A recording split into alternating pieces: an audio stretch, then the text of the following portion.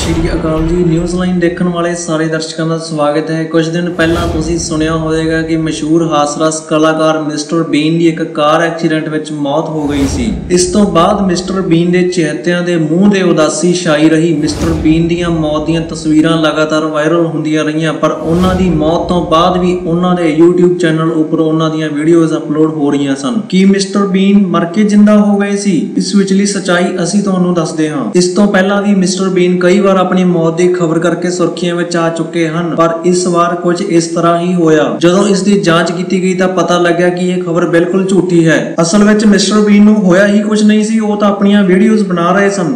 ਇਸ ਤੋਂ ਪਹਿਲਾਂ ਵੀ ਦੋ ਵਾਰ ਮਿਸਟਰ ਬੀਨ ਦੀ ਝੂਠੀ ਖਬਰ ਫੈਲਾਈ ਗਈ। ਇਸ ਖਬਰ ਨੂੰ ਫੈਲਾਉਣ ਪਿੱਛੇ ਮਕਸਦ ਕੁਝ ਹੋਰ ਹੀ ਸੀ। ਉਹਨਾਂ ਦੀ ਖਬਰ ਦੇ ਨਾਲ ਇੱਕ ਕੰਪਿਊਟਰ ਵਾਇਰਸ ਨੂੰ ਫੈਲਾਉਣ ਦਾ ਅੰਜਾਮ ਦਿੱਤਾ ਗਿਆ ਸੀ। ਅੱਜਕੱਲ ਸੋਸ਼ਲ ਮੀਡੀਆ ਤੇ ਬਹੁਤ ਸਾਰੀਆਂ ਝੂਠੀਆਂ ਖਬਰਾਂ ਨੂੰ ਅੱਗ ਦੀ ਤਰ੍ਹਾਂ ਫੈਲਾ ਦਿੱਤਾ ਜਾਂਦਾ ਹੈ। ਲੋਕਾਂ ਨੂੰ ਚਾਹੀਦਾ ਹੈ ਕਿ ਸੋਸ਼ਲ ਮੀਡੀਆ ਤੇ ਕੋਈ ਵੀ ਮੈਸੇਜ ਦੇਖ ਕੇ, ਪਰਖ ਕੇ, ਸ਼ੇਅਰ ਕਰਨ ਤਾਂ ਜੋ ਇਨ੍ਹਾਂ ਝੂਠੀਆਂ ਅਫਵਾਹਾਂ ਤੋਂ ਬਚਿਆ ਜਾ ਸਕੇ।